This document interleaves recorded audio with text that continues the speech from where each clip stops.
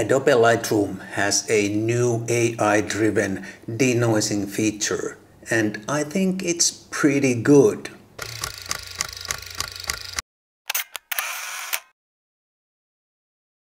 Hi guys, my name is Matti Sulanto and I'm a photographer. In this video I'm going to take a look at the brand new AI-driven denoising feature in Lightroom and I'm also going to compare it to DxO Pure 3 and Topaz Photo AI. And by the way, I do have affiliate links for both DxO and Topaz down below. So if you decide to buy either one, please use the links down below. Adobe has often been criticized for having a pretty mediocre denoising feature in Lightroom. But last month in April 2023, Lightroom got a new update and with that update, Lightroom got a new AI-driven denoising feature. Lightroom is a fully featured RAW developer and archiving app.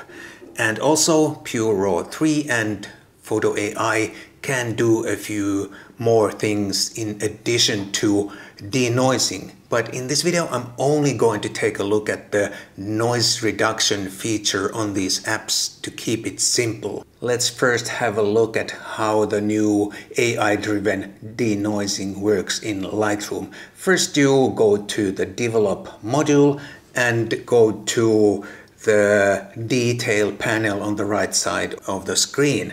And there you can see noise reduction and denoise button. You hit the denoise button and a new pop-up window opens. There is a relatively small preview window that lets you evaluate what the denoising is doing.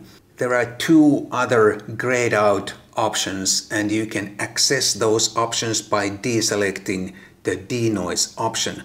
The first extra option is raw details and that will add a little bit of extra sharpness and crispness to your picture. That is on by default. You can deselect that if you want. I recommend you leave it on. The other extra selection is super resolution, but you can't use that together with the new denoise feature. So leave that unchecked if you want to use the denoise feature. There is only one slider to control the amount of denoising and based on my experience so far, 50 is a good value to start with. And if you still think there is too much noise in your picture, you can dial in some more denoising. And if you think 50 is too much, then you can dial in a little bit less noise reduction. Once you're happy with the amount of denoising, you hit the enhance button and the result will be saved as a new DNG file. And now let's see how the new feature works and how it compares to DxO RAW 3 and Topaz Photo AI. Here is my first test picture. It's a portrait of a friend shot on the Sony ZV-1 camera at ISO 6400. It's a raw picture straight from the camera, only Adobe default settings applied in Lightroom. And as you can see, it's a little bit noisy because of the relatively high ISO value for such a tiny sensor camera. On the left, we can see the original picture. On the right, we can see the new picture after Adobe denoising treatment using the value 50 on the slider. As you can see, the result is pretty impressive. The background is almost noiseless and all in all, the details on the face look pretty decent considering the um, quite poor quality of the original. Here we have two different results from Adobe denoising treatment. In the picture on the left I used the value 50 on the slider and in the picture on the right I used the value 75 on the slider. Now when we zoom in we can see that the face looks pretty similar on both, not much difference regarding noise or detail.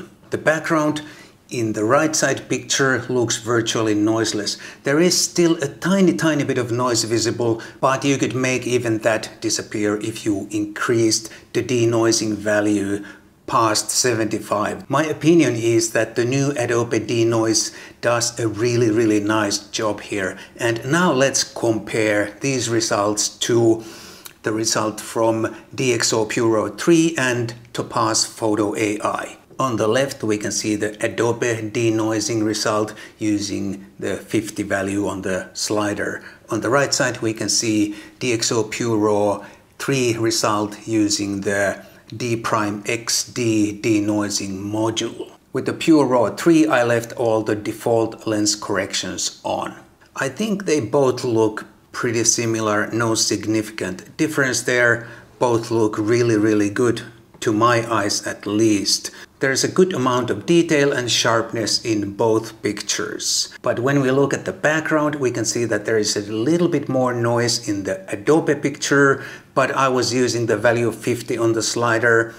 If I increased the value, I would get rid of the noise altogether. However, when I zoom into the lower right corner of the picture, we can see that there is this funny artifact in the DxO PureRAW 3 picture. It looks like the application can't really decide what to do in this part of the picture for whatever reason. It looks really clean and nice in the Adobe Denoise result.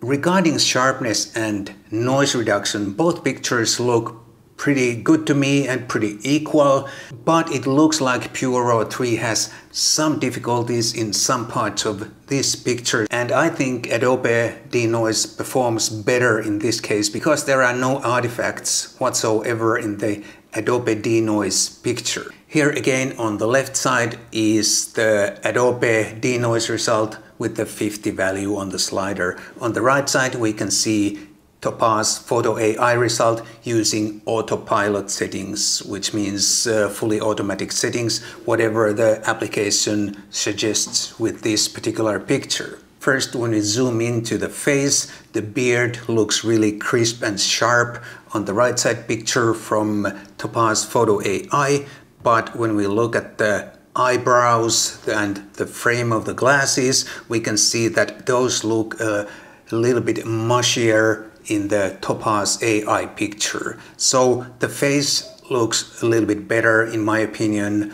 uh, after the Adobe Denoise treatment. The outline of my model's ear looks so much better in the Adobe picture. It's uh, smooth and even. It's a little bit like a ragged edge in the Topaz AI picture. Also the background in the Topaz AI picture has this funny pattern. It looks like fake leather or something and it definitely should not look like that. Here on the left we again have the Adobe denoise results with the value 50 on the slider and on the right side I have another picture from Topaz Photo AI. In this picture I manually increased the noise reduction to value 70 and now let's have a look at the result. The outline of the ear is a little bit better now in the Topaz AI picture and the background does not have that fake leather pattern anymore. This result from Topaz AI is definitely better than the first one with autopilot settings,